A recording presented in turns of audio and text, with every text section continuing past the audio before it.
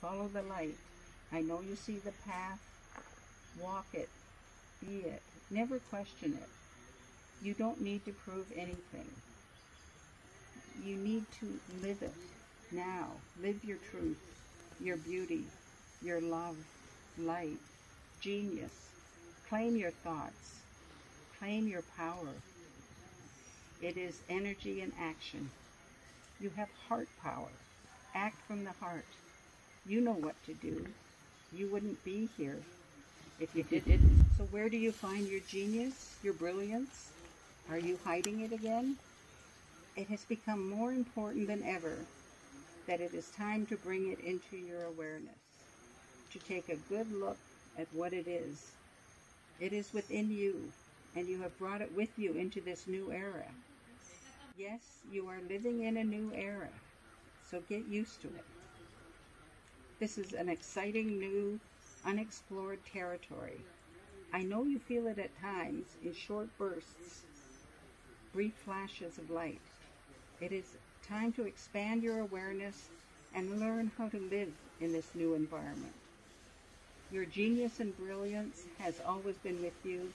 It is within you and is here with you in this new era.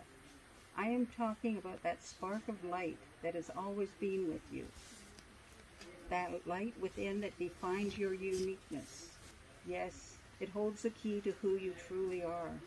It is your center, the place you return to when you are lost, lonely, unloved. Why is that? Think about it for a minute. You return there time and time again because it not only holds tr true the memory of who you are, but also serves as the contact point for all that is. The connection to Father, Mother, part of the sky, part of the earth. It is part of you that ensures you can never be lost, alone, or unloved. It is the place of belonging and being loved unconditionally. Your deep spiritual work to bring awareness to this new inner center is what brought you to the new era.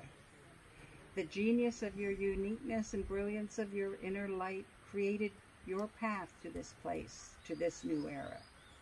You walked the path, you did the work, you have arrived. Have you noticed what's different? There is still spiritual work to be done, but have you noticed the shift in focus?